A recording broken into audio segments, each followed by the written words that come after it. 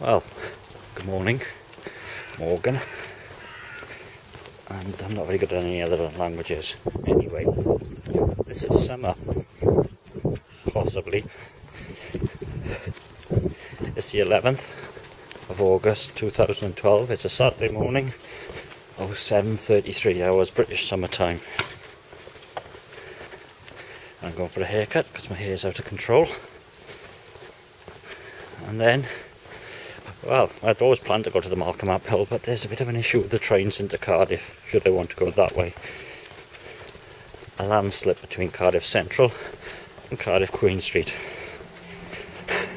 Would have thought. Hmm.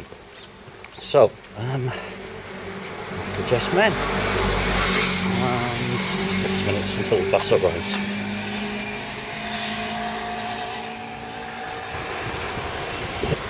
So there's my haircut emporium. I don't know if you can make it out and see Adrian inside, but it's still got a barber's pole. You don't see that very often. This is the Pick, named because of the Piccadilly pub.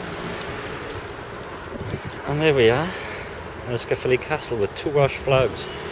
Whatever happened to the Union, let's call it Jack, flag?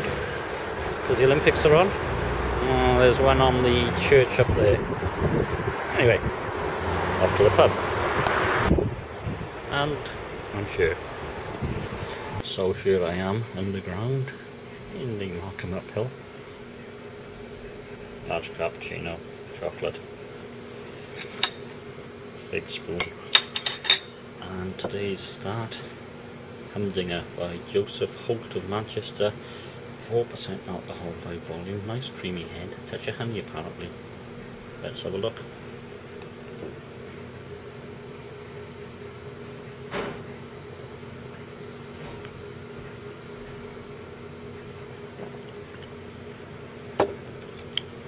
Don't know, I can't taste the honey, but there's a certain bitterness to it. Yes.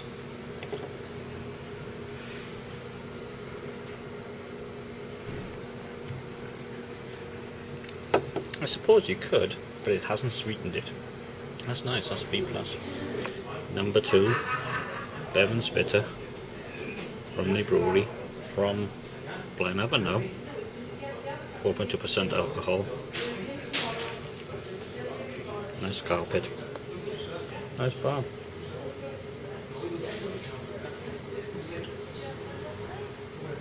Mm.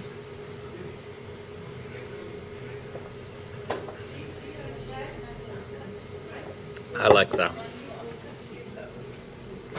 Um, it's a B plus, but it's a nice drinking bitter.